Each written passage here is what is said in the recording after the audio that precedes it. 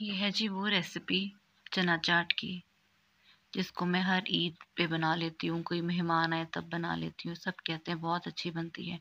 अब अल्लाह जाने वो सच कहते हैं झूठ तो ये चीज़ें हैं जो हमें सबसे पहले इमली की चटनी बनाने के लिए चाहिए। कॉर्नफ्लोर है ये, और अब चूल्हे पे चढ़ा दें आप देखची और उसमें डाल दें इमली, ठीक है, और इसको पकाएँ। पकाते जाएँ पकाते जाएँ, फिर इसमें डाल दें आप कॉर्नफ्लोर कॉर्नफ्लोर डाल दें और इसको मुसलसल हिलाते जाएँ। और, आप इमली का पानी लहदा भी निकाल सकती हैं अगर आपने खट्टे के तौर पर इस्तेमाल करना है। कॉर्नफ्लोर डालने से पहले।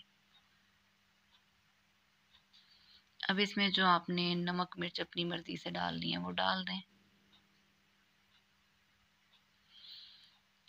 अब डालनी है आपने चीनी।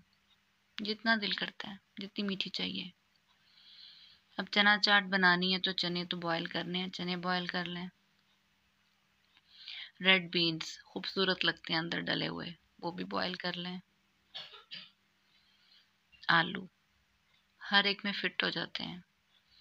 टमाटर, काट के डाल लें। साथ, प्याज, खूबसूरत काटनी है बारीक बारीक वो भी डाल लें।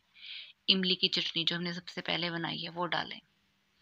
और हाँ हरी मिर्च, चाट मसाला और लीमू का रस, ये भी डालना है। लीमू के रस की वीडियो नहीं बनी। अब इन सबको मिक्स कर लें। देखिए क्या कलरफुल चाट है। मिक्स करें आराम से। धनिया डालना है। कभी कभी तो मुझे लगता है धनिया इतना ज़रूरी है कि हम स्वीट डिश में भी डालेंगे। ले जी कलरफुल चाट तैयार है।